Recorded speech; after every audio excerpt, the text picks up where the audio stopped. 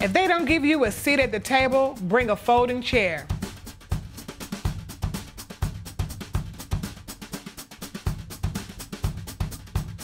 These words and others mark the story of black women for ages. And they also foreshadow the hollow victory in celebrating the 100th anniversary passing of the 19th Amendment giving women the right to vote.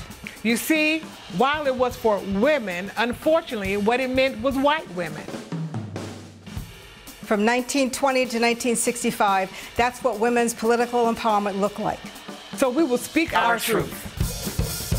truth. Black women like Sojourner Truth, Mary McLeod Bethune, Ida B. Wells, Mary Church Terrell, and all the founding members of the then recently organized Delta Sigma Theta Sorority Incorporated fought two battles. One for their gender and another for their race within that gender.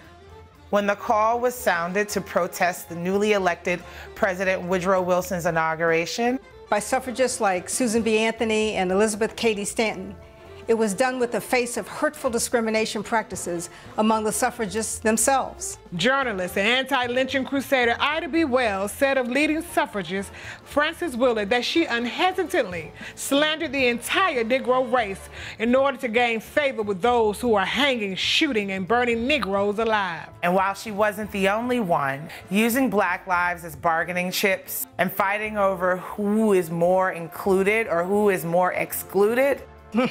I've seen this movie before. Last week, really.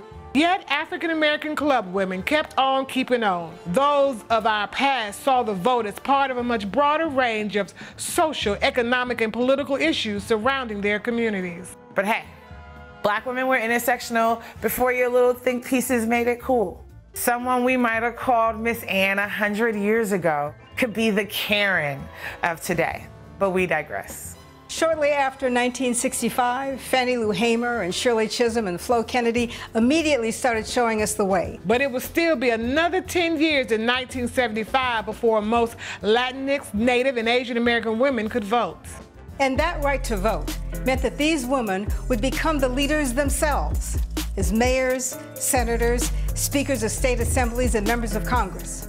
And so we march on, not apart, but together not with petticoats, but in pantsuits. And braids and locks and sneakers and crocs. And from our homes and our phone, online, it was black women. Alicia Garza, Patrisse Cullors, and Opal Tometi, who helped us turn the words Black Lives Matter from a hashtag to a movement. As Mary Church Terrell said in 1904, I should answer unhesitatingly. It is a magnificent work our women are doing to regenerate and uplift the race. We celebrate the 19th Amendment's passage while we continue to fight for its promise.